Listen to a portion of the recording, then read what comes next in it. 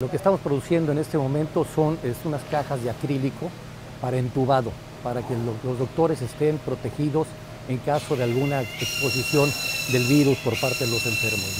Eh, cuando empezó esto, el problema de la pandemia, nos acercamos al gobierno ofreciéndole nuestras instalaciones y nuestra mano de obra. ¿no?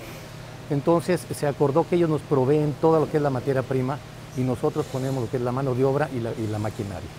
Entonces empezamos con caretas, ya estamos ahorita en las cajas de, ¿cómo se llama?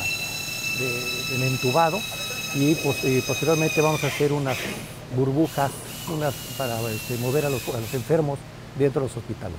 Hoy en día es indispensable la unión gobierno-empresarios para poder salir adelante. ¿no? O sea, el gobierno no podrá salir solo como el empresario no podrá salir solo. Definitivo que eso hay que trabajar juntos por un bien común que es la salud de los yucatecos. Es un ejemplo, es un ejemplo a nivel nacional que este, la unión que hay entre el, go- el gobierno y los empresarios o trabajamos juntos o, o va a ser muy difícil que salgamos adelante. Entonces, no hay nada como, como trabajar todos por el bien común.